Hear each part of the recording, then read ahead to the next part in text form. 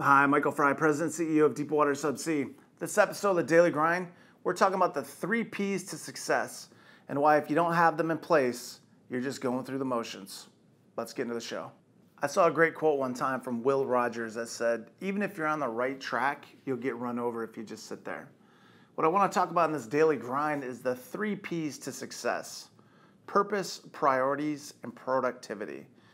The reason I think it's important for this daily grind is in this market, this downturn, a lot of people have lost their purpose. Their purpose right now is just survival. And, and what happens then is it, it affects their priorities and then it affects their productivity. And I want to just break it down and keep it very simple, as I like to do with the majority of these daily grinds.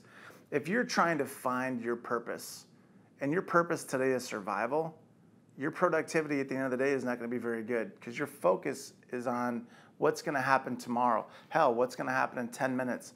Every time that cart rolls down the hallway, is it going to stop at my door? Am I going to be the next one that gets let go?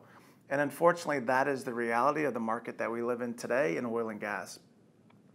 But if you step back for a minute, you've heard me talk about priorities in the daily grind. You heard me talk about taking a look in the mirror and seeing where you're at and are you happy with what you see? If you don't have your purpose, your why, why is it, what motivates you each and every day? If your motivation is change and trying to help better the industry, getting up and getting into the grind is very easy. If your purpose is just to make money, well, then your priorities are, are mixed up. And those priorities will affect your productivity because now you're just a first and the 15th person. So, for this daily grind, focus on the three P's. First and foremost, find your purpose. What is it that drives you each and every day to do what you do? If it's money, so be it. If it's try to better the industry, to try to help maybe save a life, help prevent another Macondo, then that's fantastic.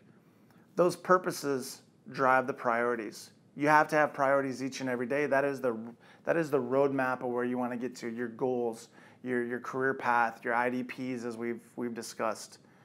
And those priorities help define your productivity.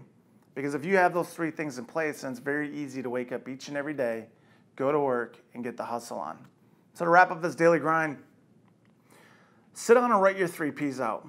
What is your purpose? Think about it. It might be hard for a lot of people. Hell, do it in the mirror. Makes it even harder. Can you ask yourself the question, what is it that drives me? What is it that motivates me? What is my why for what I do each and every day? Then think about your priorities. What are those priorities that are built around that why? And then get the productivity in place. Very easy. Three P's to success. Something to think about.